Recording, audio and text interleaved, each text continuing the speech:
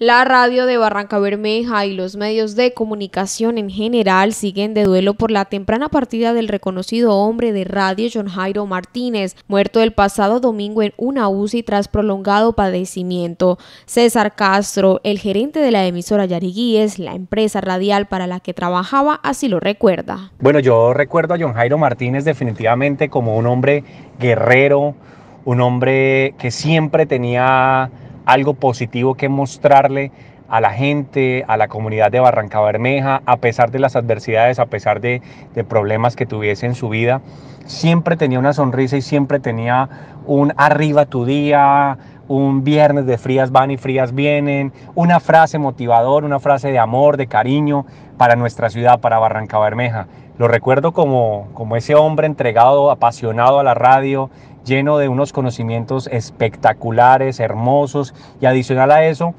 con algo muy especial y era que John Jairo siempre decía que los días tenían que ser arriba, independientemente de todo, él siempre su programación musical decía no tiene que ser arriba, mi tono de voz tiene que ser arriba, la alegría siempre debe, debe estar presente porque eso es Barranca Bermeja y eso es Yariguíes. El gerente de Yariguíes Estéreo hace llegar su mensaje solidario para la familia del locutor destacado que ha partido.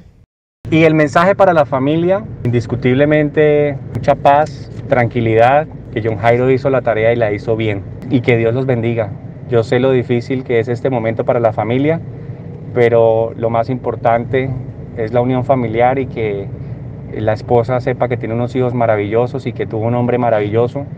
un hombre entregado y apasionado por su familia, por su hogar, y que desde allá, desde el cielo, eh, seguramente en el mejor lugar, en la mejor tarima allí, va a cuidar de su familia y va a estar eh, muy agradecido de que ella pueda eh, sacar adelante sus, sus niños. John Jairo Martínez será recordado por su estilo propio de hacer radio en el Basile de la mañana, pero también por la escuela que formó en la radio con su ejemplo y con su don de gente.